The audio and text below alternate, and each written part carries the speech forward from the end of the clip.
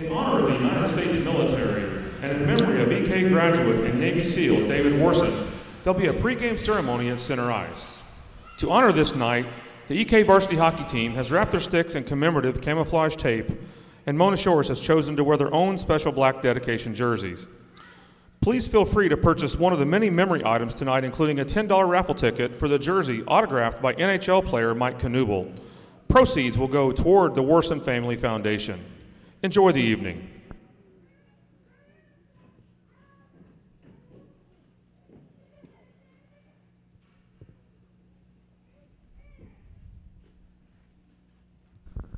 Good evening. Uh, my name is John Conlon. I'm the varsity soccer coach at East Kentwood. And I was asked to speak tonight about David Warsen Jr. Uh, and I'm not sure if my words can adequately describe David or my relationship with Dave. Uh, but I knew him for 13 years, and what started out as a coach player relationship ended up as a very close friendship.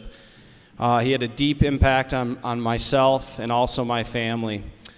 I've been asked many times uh, to describe Dave and, and if I knew he was going to be a Navy SEAL. And uh, that's tough to answer because I don't think people realize how difficult it is to become a Navy SEAL.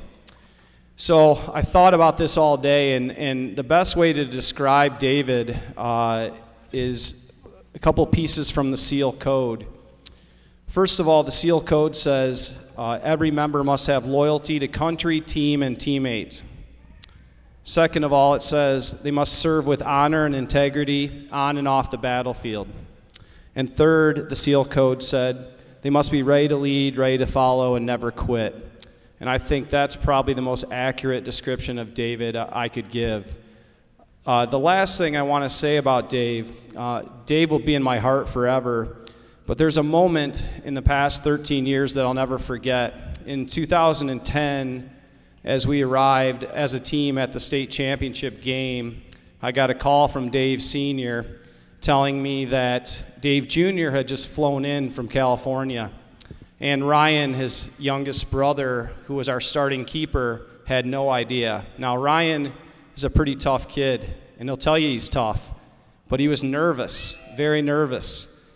Uh, when he got off the bus and he saw his brother David, all nerves were gone. It was probably one of the greatest moments uh, I can remember as a coach. Great moment between two brothers and also a father and two sons.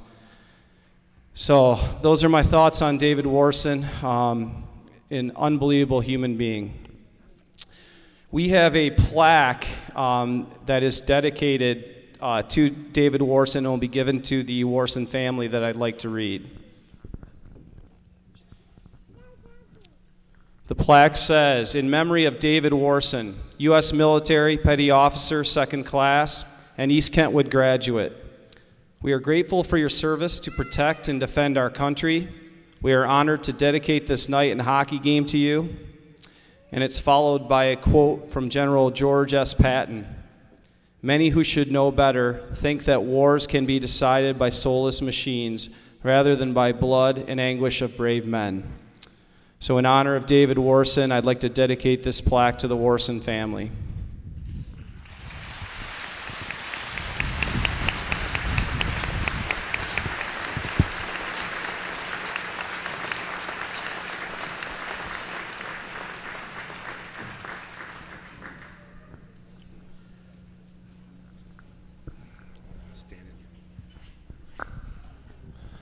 Good evening, ladies and gentlemen. My name is John Kenoy, and I'm the principal of East Kentwood High School. And welcome to the Kentwood Ice Arena.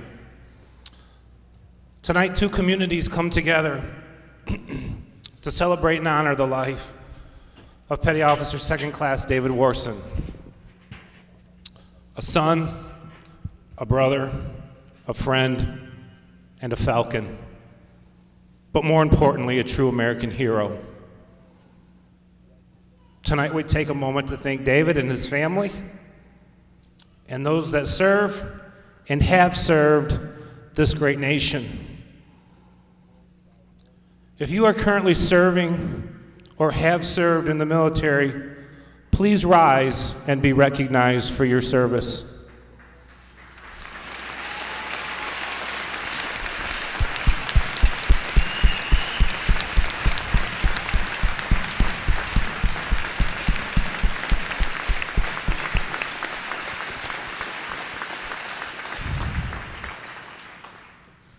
Ladies and gentlemen, please rise. Gentlemen, remove your caps.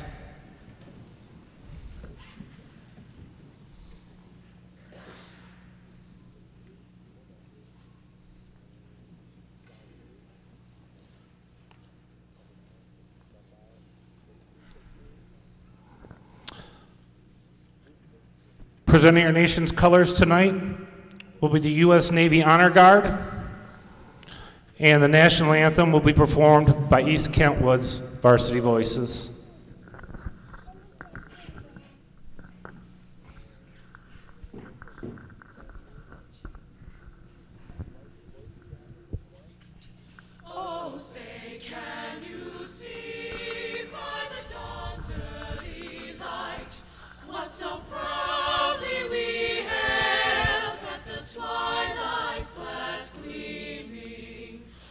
But stripes and bright stars through the perilous fight, o'er the